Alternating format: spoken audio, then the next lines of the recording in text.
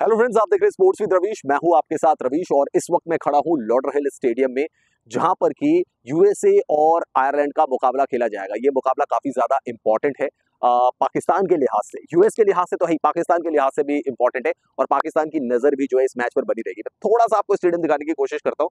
ये आप देखिए ये रहा इस तरफ़ ये स्टेडियम है। आ, क्योंकि टीम इंडिया का प्रैक्टिस सेशन नहीं हुआ तो यहाँ पे मीडिया को भी अंदर जाने की इजाज़त नहीं है। लेकिन बताया जा रहा है कि जो बारिश हुई थी, उसकी वजह से आउटफिट थोड़ा सा गीला है। अब सबसे बड़ा सवाल ये उठता है कि क्या यूएसए और आयरलैंड के मैच में बारिश का साया बना हुआ है? जी हाँ बिल्कुल बना हुआ है। आप मेरे पीछे देख सकते हैं, बादल लगे हुए हैं इस वक्त। हालाँकि बरस नहीं रहे हैं, बरस नहीं रहे, लेकिन बादल लगे हुए हैं। और बताया ये जा रहा है कि यूएस और आयरलैंड के मैच में रेंज जो है वो विलेन बन सकती है। सुबह की अगर बात की जाए नौ बजे से लेकर ग्यारह बजे के टाइम की अगर बात की जाए तो नब्बे परसेंट रेन का फोरकास्ट है और उसके बाद पैंतालीस परसेंट हो जाएगा। बारह बजे के बाद रेन का इतना ज़्यादा फोरकास्ट नहीं है। ये जो स्टेडियम है दोस्तों यहाँ पर लॉडर हिल का जो स्टेडियम है फ्लोरिडा में आ, अगर बारिश होती है तो देखिए आउटफिल्ड गीला हो जाता है। फिर उसको सुखाने के लिए टाइम चाहिए। सुखाने के लिए टाइम चाहिए तो कितना टाइम चाहिए कट ऑफ़ टाइम कितना है? और अगर पूरे दिन बादल बरसते रहे तो फिर मैच हो पाना बहुत ज़्यादा मुश्किल हो जाएगा। हालाँकि यूएसए के लिए तो कंफर्टेबल सिचुएशन यही रहे, ये भी रहेगी कि अगर मैच नहीं होता है तो उनको एक पॉइंट मिल जाएगा। एक पॉइंट मिल गया तो चार पॉइंट उनके हैं।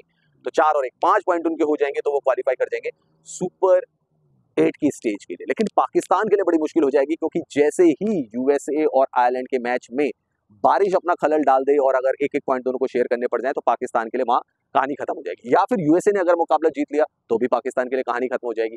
तो पाकिस्तान और पाकिस्तान के क्रिकेट फ़ैन सिर्फ़ यही चाह रहे हैं कि आयरलैंड किसी भी तरीके से यूएस को हरा दे, बाकी आखिरी मैच पाकिस्तान ने खेलना है। तो रन रेट में जो दो चार गुना भाग जो करना होगा, वो पाकिस्तान की टीम कर लेगी। लेकिन मैंने जैसे आपको बताया, ये देखिए लॉडर का स्टेडियम है, थोड़ी जोड़ी तो यहाँ पे फ्लड लाइट्स भी लगी हुई है काले बादल भी लगे हुए हैं, बरसना इनको है ही।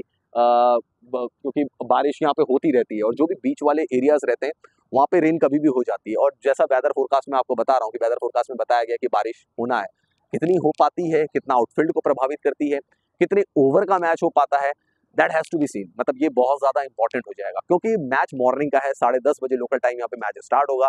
Just like US sorry New York में जैसा हो रहा था मैच न्यूयॉर्क में भी देखिए इंडिया पाकिस्तान वाले मैच में शुरू में बारिश आई थी, लेकिन उसके बाद कंडीशंस ठीक हो गई थी और एक पूरा मुकाबला जो था देखने को मिला था। लेकिन यहाँ पे थोड़ी बारिश की संभावना ज़्यादा है थोड़ा क्योंकि फ्लोरिडा उतना बड़ा नहीं है जितना कि न्यूयॉर्क था। बीचेस बहुत ज़्यादा क्लोज हैं बादल भी लगे हुए हैं बारिश यहाँ पर होती रहती है। और ये एक ऐसा टाइम आ गया है जिस जिस वक्त कहा जा रहा है कि हाँ भाई बारिश होगी। कितनी होगी? कितना प्रभावित करेगी मैच को?